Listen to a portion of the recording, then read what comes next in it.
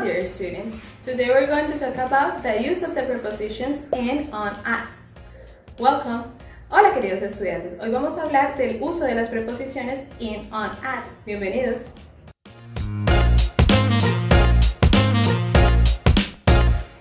En general, cuando se está aprendiendo el idioma inglés, se genera cierta confusión al saber cuál de estas preposiciones se debe utilizar. A continuación mostraré el particular uso que tienen las preposiciones in y at para expresar los diferentes periodos del día. Veámosla.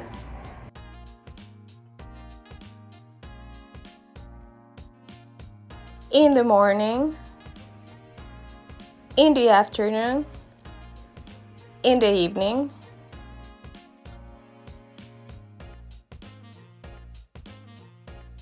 at noon, at midday, at night, at midnight. El significado de en en español hace referencia a en la, es decir, en la mañana, en la tarde, en la noche.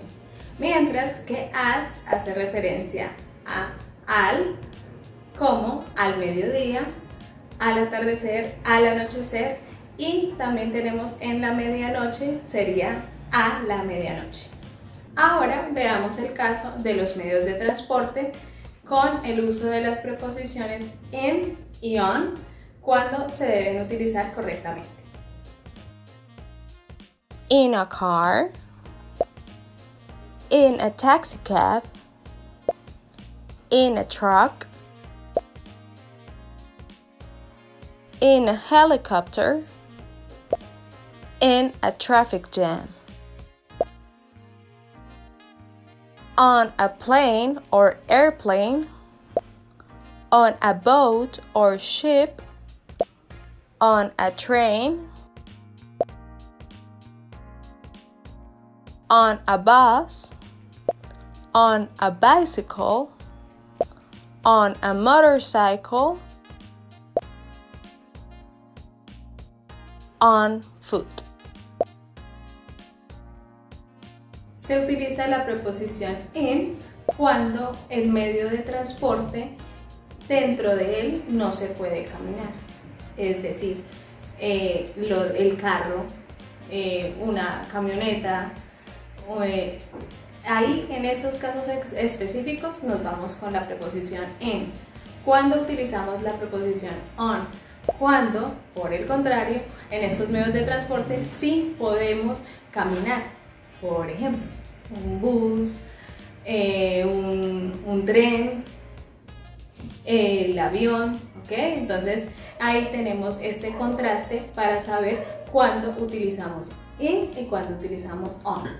A continuación se mostrará un cuadro explicativo en el que se indicará en qué momento se deben utilizar las preposiciones in, on y at.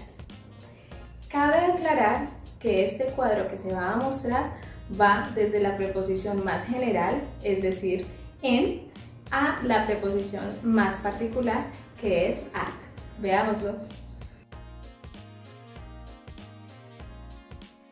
in neighborhoods, barrios, city or cities, ciudad o ciudades, country or countries, país o países, dates, complete, fechas completas, months, meses, years, años.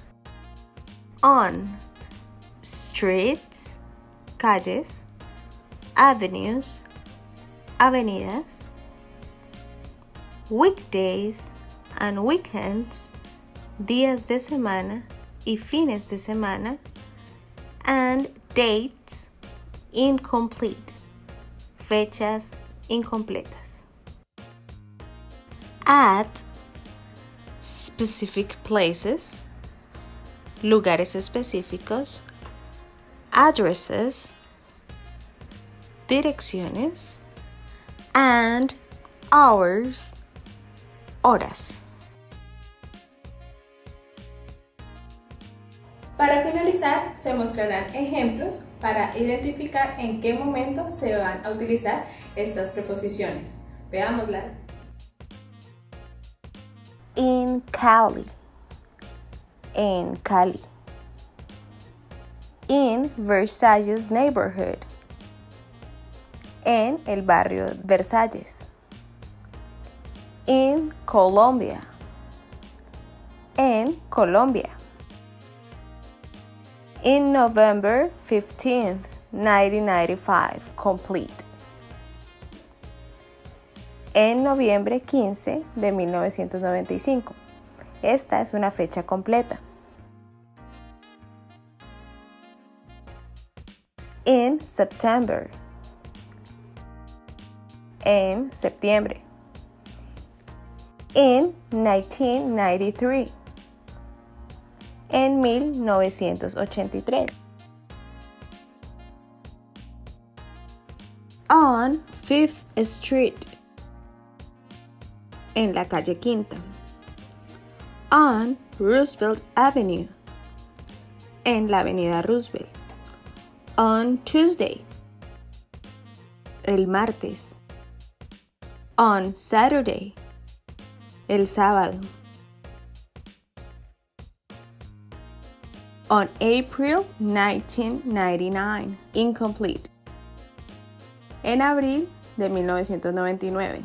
Fecha incompleta. On July the 20th. Incomplete. En julio 20. Fecha incompleta. On my birthday. En mi cumpleaños on the beach. En la playa.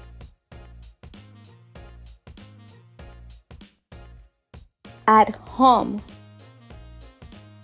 En el hogar. At the airport. En el aeropuerto. At 14255 Northeast 12th Avenue in Miami, Florida at 11:30 a.m. a las 11:30 am.